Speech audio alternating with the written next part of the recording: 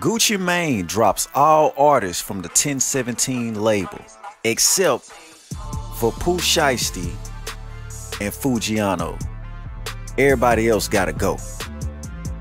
Now I'm making this video for people that uh, that don't understand why, and I'm making this video to let the artists know something. Now, for those that don't know nothing about a P&L sheet, who don't know what that means, this part is for you. P&L stands for profit and loss. Now I know some of y'all gonna be like, oh man, Gucci messed up, Gucci messed up. Man, hey man, it's all business. Take it from a nigga that didn't had to drop all them niggas. cause cause cause you throwing money in a trash can, you wasting time.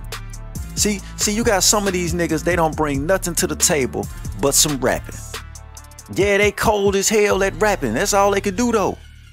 They don't pay for studio time. They don't pay for beats. They don't pay for mixing, mastering, no graphic designs, those nice album covers. They don't pay for that. They don't pay for videos. They don't pay uh, uh even the digital shit, marketing, promotion. These niggas don't even promote their own music. So they don't pay for no promotion, no uh marketing. You know, uh you might put them on Rap Caviar and all these different playlists and shit on uh the digital music platforms. They don't pay for none of that. So imagine taking an artist off the street and you put a hundred thousand dollars into this nigga and he can't even break ten thousand. Shit, some of these niggas can't break fifteen hundred. You throwing money in a trash can. P&L, profit and loss. Now most of y'all that's talking shit, cause I know y'all talking shit, y'all don't know nothing about running a business at all, let alone a, a, a record label or distribution company or you know what I mean? Hey man, them niggas gotta go. Them niggas gotta go. Man, I, I, I forgot. I think it was 2022 or 2023. Man, I dropped all them niggas. I'm talking 20, 30 niggas. Ah, fuck all that. If I'm gonna be throwing money and time in the trash, I might as well put it on somebody else. I might as well spend it on myself. And see, that's why I want to come in and let the artist know something. Cause I never been uh you know, I did music too. I rapped and shit too, but I never was the one that wanted to be the number one guy, even though people always knew that, you know, it's all about me. You know, I was always the one, but I never, I always tried to uplift other niggas. You know what I mean? Oh man, money and time wasted.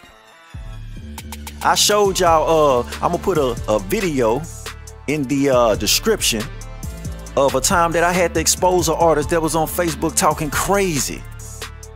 He called himself, and, and, I'm still upset he didn't tag me in the post, right? He said my government name and all that shit, but he didn't tag me. I'm still a little, I'm still a little salty about that. You know what I mean? Tag me, please.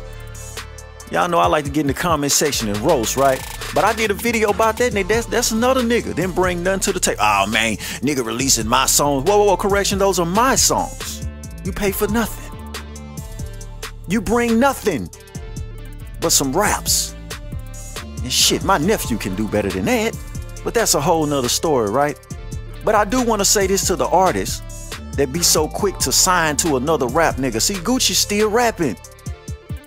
That's why I don't understand niggas signing to niggas like Boosie and, you know, guys that's still trying to be number one. You want to go sign to somebody that ain't even worried about the rap shit no more. They might be doing TV, film, and doing other shit. They don't care about being no number one rapper. Why you sign to a nigga that want to be the number one rapper in the world still? You gonna always be competing with them. The reason why Gucci is keeping Foogiano and Pooh Shiesty is because they do decent numbers. They numbers probably close to heels.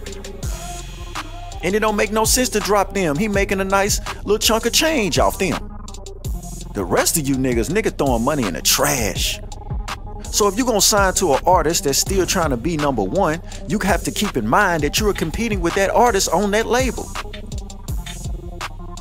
It's the same thing like the big labels. Niggas be thinking that they signed to a, oh man, I ain't signed to no major, I'm signed to such and such. And you competing with such and such because he still wanna be the best rapper in the goddamn world. You know what I mean? So uh I hope this video was valuable. I hope this video was uh inspiring for some of y'all. You know, you gotta pick and choose. You know what I mean? You, and, and you gotta always keep in mind, this is business. And it's not my business to teach you business. It's not my business to try to get you to understand how this shit work. You supposed to come to the table knowing something. Otherwise, that's how you get fucked in the game. Are y'all mad at Gucci Mane? I know y'all like, man, that nigga there, man. Y'all, y'all need to stop fucking with these nigga, man. These nigga would. This is business. So my question to y'all, do y'all think he's wrong?